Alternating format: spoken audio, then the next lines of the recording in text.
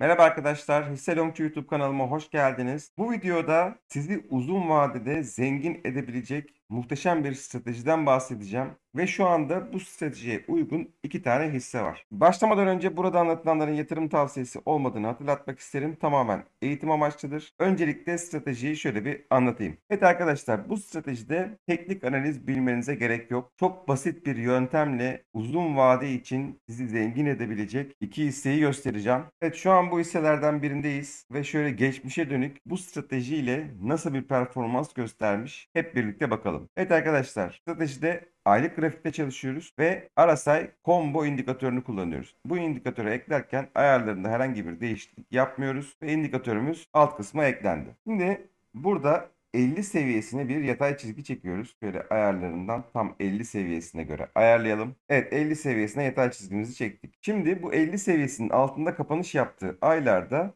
ve aynı zamanda düşüş mumu varsa eşit miktarlarda toplama yapıyoruz. Burada bütçenizi ben 8'e bölmenizi öneriyorum. Şimdi birlikte test edelim. Şimdi bakın arkadaşlar şurada ilk kapanışını yapıyor. 50 seviyesinin altında ilk kapanışını yapıyor. Ne zaman? 1 Ağustos 2019. 1 Ağustos 2019'da ilk alımımızı yapıyoruz. Bu arada hisselerin bu stratejiye uygun hale gelmesi böyle 3-4 yıllık, 5-6 yıllık periyotları bulabiliyor arkadaşlar. Bu yüzden her zaman bu stratejiye uygun hisse bulmanız mümkün değil. Burada ilk alımımızı ekledik. Bakın 2 ay sonra tekrardan kırmızı bir mum yapıyor. Bakıyoruz 50 seviyesinin altında mıyız? Evet altındayız ve aynı zamanda bu ilk alım yaptığımız seviyenin de altında olmamız gerekiyor. Bakalım altında mıyız? 4.33'ten kapanış yapmış. Burada 4.35'ten kapanış yapmış. Bu yüzden eklemiyoruz. Daha sonrasında yeşil mumlar geliyor. Tekrar bir kırmızı mum 4.83'ten kapanmış. Bir kırmızı mum da 4.14'ten kapanmış. Baktığımızda ilk alımımızı 4.33'ten yaptık. Şimdi 4.14'ten kapanış yaptı. Yani ilk alım yaptığımız seviyenin altında kapanış yaptı ve 50 seviyesinin altındayız. Burada bir alım daha ekliyoruz. Evet ikinci alımı da ekledik ve sonrasında şöyle şuradan bir bakalım. Şöyle günümüze kadar geldiğimizde %849'luk bir kazanç arkadaşlar. Ve burada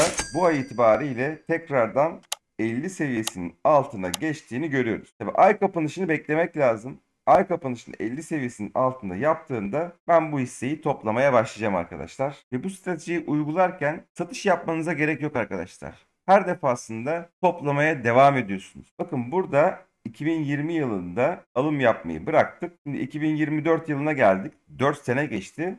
Tekrardan toplamaya başlıyoruz. Ve karımız %850. Daha geriye gittiğimizde şöyle bakalım. Evet bakın şu dönemde de 2012 döneminde şurada ilk 50 seviyesinin altında toplamaya başlasanız Mayıs ayında 2012'de şurada ilk alımımızı yaptık. Daha sonrasında bakın bu seviyenin altında tekrar düşmediğini görüyoruz. Burada kapanış seviyesi 1.53. 1.53'ün altında kapanış var mı ona bakıyorum. Evet 1.53'ün altında kapanış yok arkadaşlar. Şurada toplamanızı yapıyorsunuz ve güzel bir kazanç elde ediyorsunuz. Daha da geriye gidelim. Bakın burada da 2008 yılında arkadaşlar 2008 kriz döneminde şurada ilk alım yapılabilir. Baktığımızda 0.77'den ilk alım yapıyorsunuz. Daha sonrasında 2 ay sonra tekrar 0.77'de kapanış yapıyor. Burada eklemiyoruz. Birkaç ay sonra 0.61'de kapanış yapıyor. Yine 50 seviyesinin altında. Burada ikinci alımı ekliyoruz. Ee, birkaç ay sonra 0.58'de kapanış yapıyor arkadaşlar. Burada da bir alım ekliyoruz. Bir ay sonra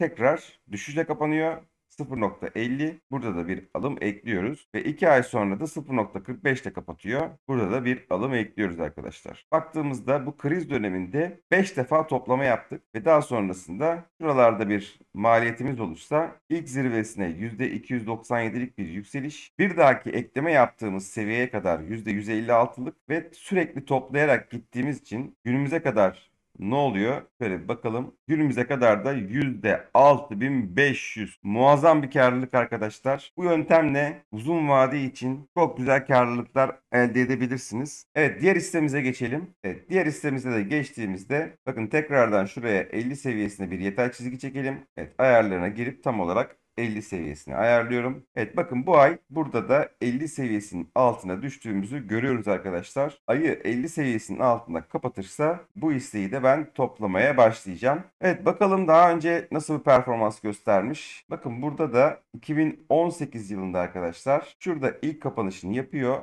25.02 yaz seviyesinden şuraya ilk alımı ekliyorum ve takip eden aylarda 25.02'nin altında kapanış var mı ona bakıyorum hemen. Evet 25'te var hemen bir sonraki ay. Orada da bir alım ekliyoruz. Devam ediyorum. 24.06 seviyesi var. Burada da bir alım ekliyoruz. 23 seviyesinde kapatmış bir sonraki ay. Bunu da ekliyoruz. Bir sonraki ay 22.90 seviyesinde kapatmış. Burada da eklememizi yapıyoruz. Bir sonraki ay 21.38 seviyesinde kapanışını yapmış. Burada da ekledik. Bir sonraki ay 21.10 seviyesi. Bunu da ekledik arkadaşlar. Ve bir sonraki aya baktığımızda 19.40 seviyesi var. Burada da eklememizi yaptık. Bir sonraki aya baktığımızda da 16.90 var. Burada da eklemelerimizi yaptık arkadaşlar. Şöyle biraz yakınlaştıralım. Baktığımızda 2, 4, 6, 8 hatta 9. eklemeyi yaptık arkadaşlar. Çok önemli değil. 8'e bölmüş olsanız bile şu son alımı eklemediğinizi varsayalım ve silelim arkadaşlar. Evet şuraya kadar alımımızı yapmış olduk. Bu düşüş boyunca 8 ay boyunca arkadaşlar. Daha sonrasında bir yükselişin başladığını görüyorsunuz ve burada da 2020 Mart ayında da tekrar benzer seviyelerde kapanışını yaptıktan sonra muazzam bir yükseliş geliyor arkadaşlar. Şöyle şuralarda ortalama maliyetimiz olsa şöyle tekrardan 50 seviyesinin altına düştüğü günümüze geldiğimizde %851'lik karlılık var arkadaşlar. Çok güzel bir karlılık. Tabi burada önemli olan bu stratejiyi uygulayacağınız şirketlerde mutlaka ve mutlaka sağlam şirketler olmasına dikkat edin arkadaşlar. Bilançolarını kontrol edin. Batmayacağını uzun vadede ortaklık kurabileceğinizi düşündüğünüz şirketlerde bu stratejiyi uygulayın. Çok başarılı sonuçlar elde edeceğinizi göreceksiniz. Evet bu iki hisse neydi? Onları da söyleyip videoyu tamamlayayım. İlk incelediğimiz hisse şişe cam hissesiydi arkadaşlar. İkinci incelediğimiz hisse de Paso hissesiydi. Bu iki hissenin de geçmiş videolarımızda borçluluk rasyolarını incelemiştik ve şu an için bir sıkıntı görmemiştik arkadaşlar. İsteyen arkadaşlar da geçmiş videolarımızdan kontrollerini yapabilirler. Evet videonun daha geniş kitlelere ulaşabilmesi için beğenilerinize ve yorumlarınıza ihtiyacım var arkadaşlar. Bu konuda desteklerinizi bekliyorum. Bir sonraki videomuzda görüşmek dileğiyle. Hoşçakalın.